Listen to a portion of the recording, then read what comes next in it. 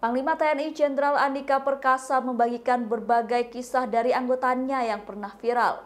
Salah satunya adalah kisah dari Ledda CKM Didi Angga. Kisah Ledda CKM Didi sebelumnya pernah menggegerkan jagat dunia maya. Mulanya dirinya dinyatakan tidak lolos di bidang mental ideologi. Hal itu karena dirinya adalah seorang mantan pemabuk.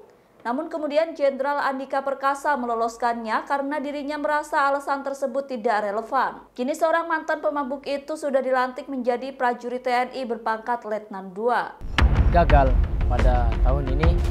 Tahun depan saya akan mencoba. Bila perlu besok uh, ini untuk Susgakes saya akan mendaftar.